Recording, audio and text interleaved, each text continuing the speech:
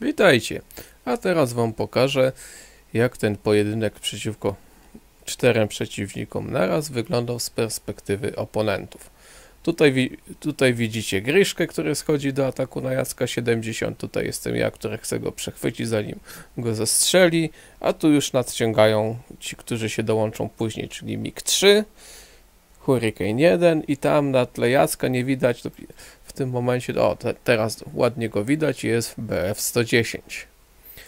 No to zaczynajmy. Tutaj at atakuje Gryszkę, jeszcze nic nie wiem na temat reszty przeciwników, co najwyżej mi kropka od tego BF-a na radarze mignęła, ale to się skupiałem na tym, żeby obronić kolegę. No widzicie jaki górny shielda makabra, bo sobie tylko zadymiła pomimo długiego strzału.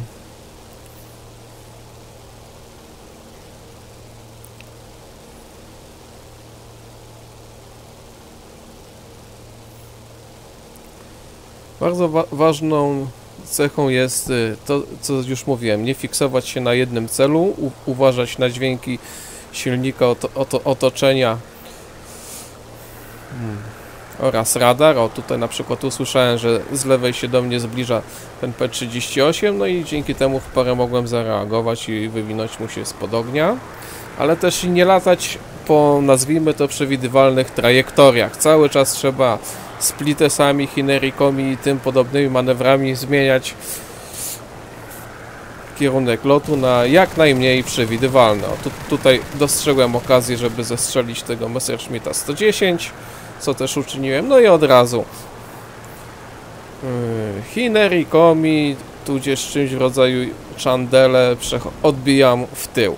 I dzięki temu Griszka, którego tak do końca nie widziałem, gdzie on się znajduje, nie jest w stanie wejść mi na ogoń. Tymczasem ja uzyskuję sytuację strzelecką do spizgania miga. Gryszka powoli wchodzi na sytuację strzelecką, ale w tym akurat momencie ja od, odbijam znowu ma manewrem powodującym, że nie może we mnie wycelować, a sam odkrywam chyba obecność Hurricane'a pode mną. Kolejny zwrot. powoduje, że mogę ostrzelać Gryśka, ale ten znowu jest chroniony magicznym noob shieldem i no, ciemniejszy dymek puścił, ty, tyle ty, tylko z tego efektu wyszło. Ale w pogoni za gry... A nie, jednak Gryszka został tym razem już spizgany, a ja znowu man manewrem ostrym wywijam się spod luf temu P38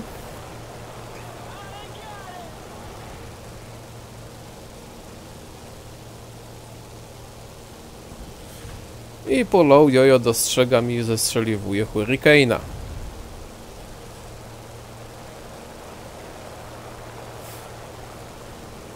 A po zestrzeleniu Hurricane'a miałem e- energię dzięki low jojo i mogłem się nakierować już na tego przeciwnika w P38, siadłem mu na ogon, ale też, też był raczej taki kuloodporny, poza tym mi się skończyła amunicja.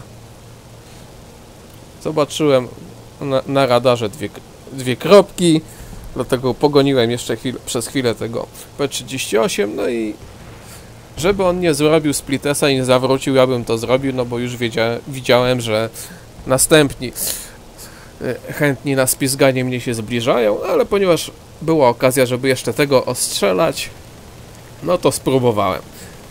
Bo wbrew pozorom e, częst, często jest sensowne samolot uszkodzić y, krytycznie, ale niekoniecznie zestrzeliwywać.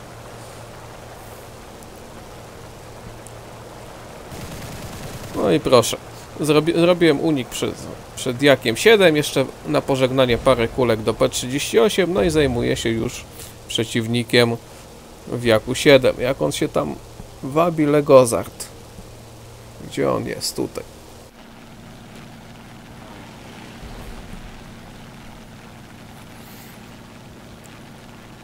Legozar dobrze wykorzystał y, swoją przewagę energii, jaką miał. I przez chwilę sprawiał mi pewien kłopot. O, tutaj skręcił przepustnicę, dlatego tak się zawinął na mnie. No ale skręcenie przepustnicy powoduje, owszem, szybszy opad nosa, ale też i wytracenie energii.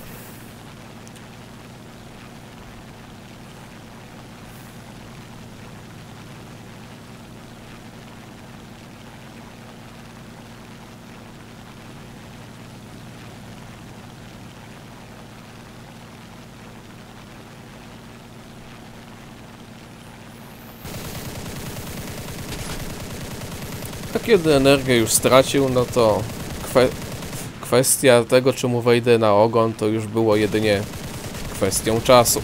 Ostrzeliwuję tu tego jaka, tymczasem wie wiemy, że będzie się zbliżał Gryszka w P51, no i zobaczmy coś, co tu się dzieje.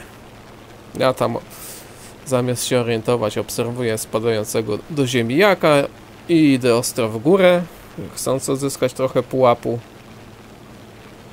ale w tym momencie go dostrzegłem i w ostatniej praktycznie chwili mu się wywinąłem.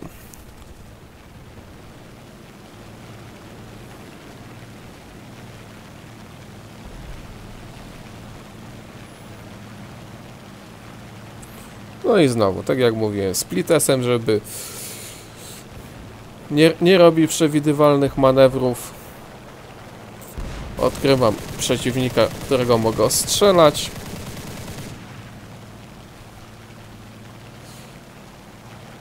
Ale natychmiast odbijam. A proszę, tu jeszcze się kolejny przypałętą F, F4.